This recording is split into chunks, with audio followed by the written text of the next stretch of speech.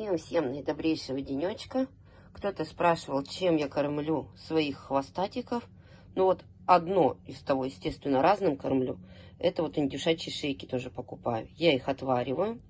Мясо потом, видите, как легко отходит прям вообще. Ну, то есть провариваю хорошенько, и мясо отходит легко. Если в куриных шейках мало мяса, то в индюшачьих его довольно-таки много. Сейчас вот обберу Естественно, конечно, я покупаю не одну шейку сразу же, чтобы сварить побольше, а примерно килограмма два. Вот такой вот бульон. Потом еще на этом бульоне можно вот это мяско обобрать и какую-то кашу добавить, сварить. То есть, как бы и полезно, и вкусно будет бульон еще наваристый. Ну и что грехотеть, можно себе супчик сварганить. То есть, в принципе-то, хороший наваристый бульон. То есть, ну это единственное, кому нравится индейка, а кому нет. Вот сейчас все беру и покажу вам, сколько вот получилось мяса и сколько получилось косточек. Чтобы вы просто видели, что с шеи к получается довольно-таки много мяса. И вот что у нас получилось. Вот они, вот они. Наблюдают уже, что тут мать делает. Вот такие хорошие куски мяса.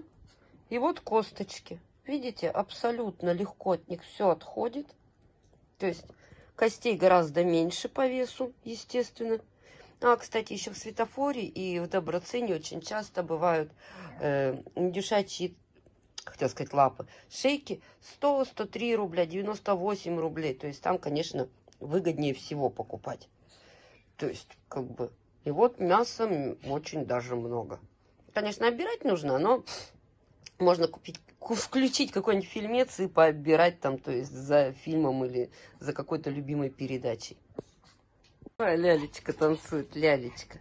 Да, и периодически я им даю не порционно, прям каждому-каждому, а делаю две, вот три таких больших тарелки, и они все кушают. То есть сейчас вот поставлю одну и еще наполню одну тарелочку.